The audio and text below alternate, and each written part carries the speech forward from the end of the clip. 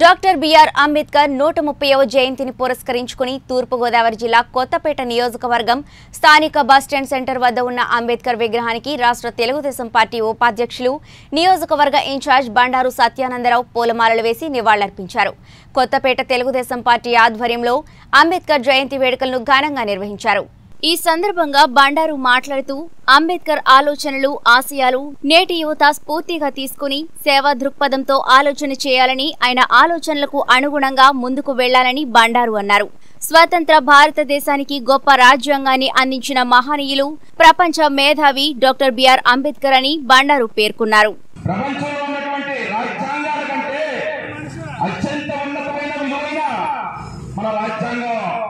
గొప్పదే అని నేను గర్వపడుతూ ఉన్నాను. నేటికి విజయోత్సవాలు జరుపుకుంటున్న ఈ సమయంలో రాజ్యాంగం మేడలో మనకున్నటువంటి స్వేచ్ఛ సమానత్వం సౌభాగ్యత్వం ప్రాతిపదికన భారతదేశ ప్రజలందరూ కూడా కుల మత రహితంగా ఈనాడు అందరూ కూడా అభివృద్ధి చెందే విధంగా ఈనాడు దేశం ఎంతో అభివృద్ధి సాధిస్తూ ఉంది. ఆనాడు అంబేద్కర్ ఇచ్చిన రాజ్యాంగం వల్లే ఈనాడు ఆ రక్షణలోనే మన కూడా జీవిస్తూ ఉన్నాం. ఆనాడు రాజ్యాంగంలో ఉన్నటువంటి రక్షణలన్నీ కూడా అంబేద్కర్ గారు కల్పించి ఉండకపోతే ఆనాడు పెట్టినటువంటి వ్యవస్థలు శాసన వ్యవస్థ కార్యనిర్వాహక వ్యవస్థ న్యాయ వ్యవస్థ మూడు వ్యవస్థల్ని మన రాజ్యాంగంలో రూపొందించుకోవడం జరిగింది. ఏ వ్యవస్థగా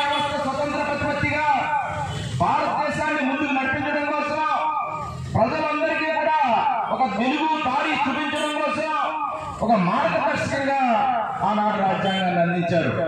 ఈనాడు ఆ శాసనకర్తలు సరిగా వ్యవహరించినప్పుడు ఎవరైతే శాసనకర్తలుగా ఈ దేశానికి రాష్ట్రానికి ప్రభుత్వాధినేతలుగా వస్తా ఉన్నారో వారు శాసనాలు కర్తలుగా వారి వ్యవస్థలను గౌరవించినప్పుడు నీతృత్వ పాలనతో నియంత్రణగా వాళ్ళు తయారైనప్పుడు భారతదేశ రాజ్యాంగం వాళ్ళు చెక్ పెడతా ఉంది.